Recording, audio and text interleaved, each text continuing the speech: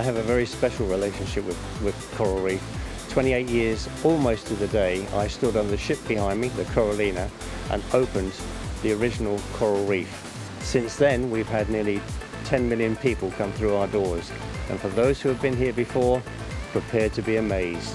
It is a splendid reconstruction of our coral reef.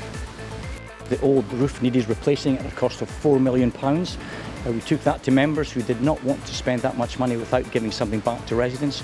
So eventually they agreed on a £13.3 million complete refurbishment of Coral Reef, which included five exciting new water slides. Virtually everything you see has changed apart from the main pool hall, which we felt was so exciting, didn't need replaced. We have five very exciting interactive new water slides. I've been down all five myself. Each one of them offers something different from to toddlers to daredevils. Very excited about the opening, really looking forward to seeing excited children and their families finally enjoying Coral Reef after 18 months of closure. It's very important I get this message across you need to pre-book your tickets for Friday, Saturday and Sunday when we will have the full program running. So that's all five of our flumes, but you need to book your tickets.